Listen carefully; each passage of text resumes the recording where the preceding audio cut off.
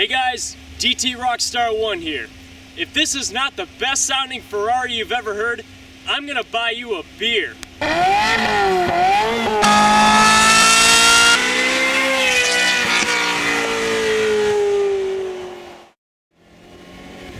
Just want to say a few words and then I'll let the car do the rest of the talking. What you see here is a Ferrari 355 Spider with a stage 3 Capristo exhaust, Fabspeed headers, and hyperflow catalytic converters.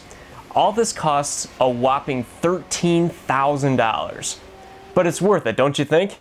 I'll let you decide.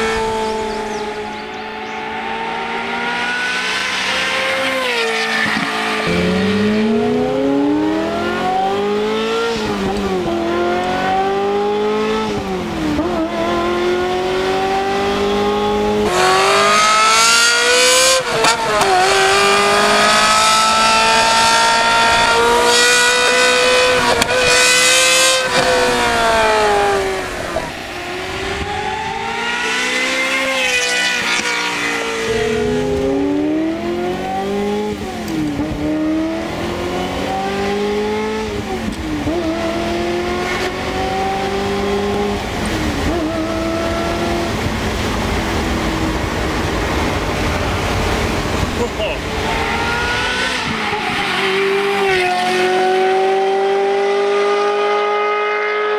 you.